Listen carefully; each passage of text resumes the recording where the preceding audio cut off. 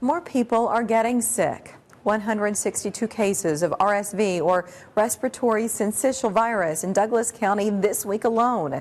Health leaders say kids and seniors are most at risk.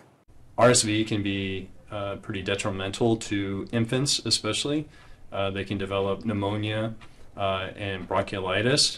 Earlier this month, the CDC announced it would send out about 77,000 additional RSV vaccines for infants, though the concern was that might just be a drop in the bucket nationwide.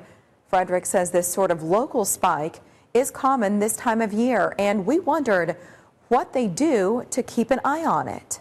We're looking at uh, the number of cases that are coming in. We're looking at uh, the percent positive tests, right? Uh, we're looking at uh, emergency department visits. We're looking at wastewater for COVID 19. He says take caution by washing your hands, wearing a mask in the airport, and staying home if you're sick. Adding people with symptoms should talk to a doctor.